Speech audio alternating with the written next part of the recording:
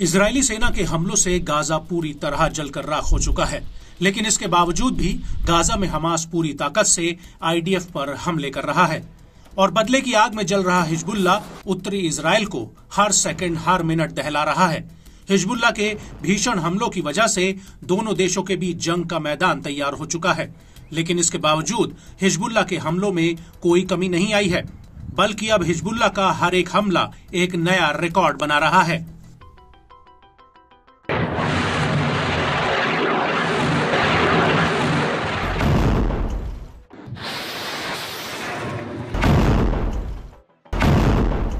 और इसी कड़ी में अब हिजबुल्ला ने इसराइल पर एक बार में सौ से ज़्यादा कत्यूशा रॉकेट्स फायर किए हैं।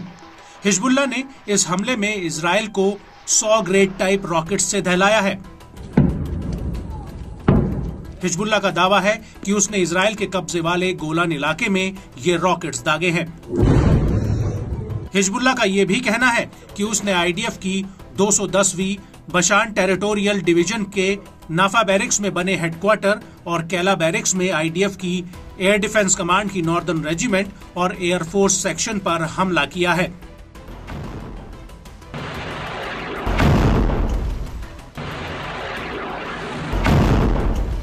लेकिन सवाल ये उठता है कि एक दिन में ही आखिर हिजबुल्ला ने इतना बड़ा हमला क्यों किया?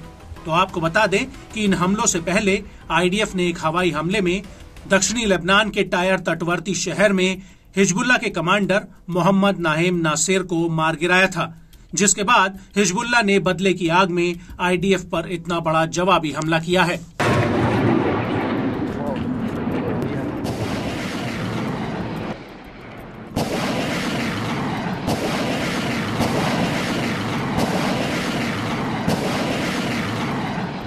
हिजबुल्ला का दावा है कि उसने 210वीं टेरिटोरियल डिवीज़न कमांड्स की छठी ब्रिगेड पर हमला किया है।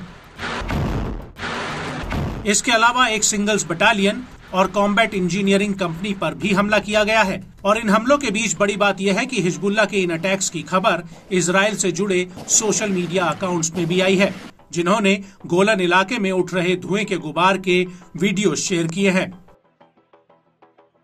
लेकिन गौर करने वाली बात यह है कि नाफा और कैला सैन्य अड्डों के बीच तेरह किलोमीटर की दूरी है। जबकि नाफा बैरिक्स फ्रंट लाइन से करीब साढ़े तेईस किलोमीटर दूर है। और ये वो इलाके हैं जहाँ से इजरायली सेना पहले पीछे हटी थी। इन हमलों के अलावा हिजबुल्ला का ये भी कहना है कि उसने किरियत शमोना बैरिक्स में सात सौ उनहत्तरवी हीराम टेरिटोरियल ब्रिगेड्स के हेडक्वार्टर पर फलक रॉकेट से हमला किया है।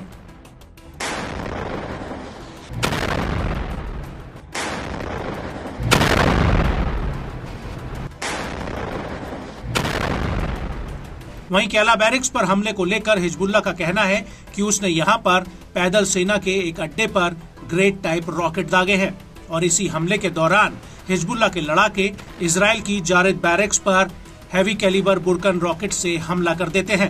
आपको यहाँ पर ये ज़रूर बता दें कि हिजबुल्ला ने जिन बुरकन रॉकेट से आईडीएफ के इस बेस पर हमला किया है, वो रॉकेट 500 किलो तक का विस्फोटक या हथियार ले जा सकता है।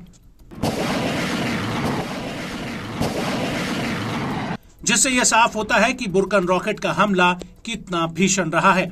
और यही वजह है कि इन हमलों की वजह से पश्चिमी अपर जलील से लेकर अल जलील पनहंदेल तक कब्जे वाले गोलन के कई इलाकों में हवाई हमलों के कई बार सायरन बज उठे।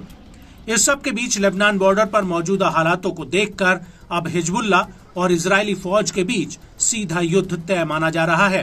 लेकिन अंदर की कई ऐसी रिपोर्ट्स आई हैं, जिनसे ये बात साफ़ हो गई है कि हिजबुल्ला से लड़ने के लिए आईडीएफ फ़िलहाल तैयार नहीं है।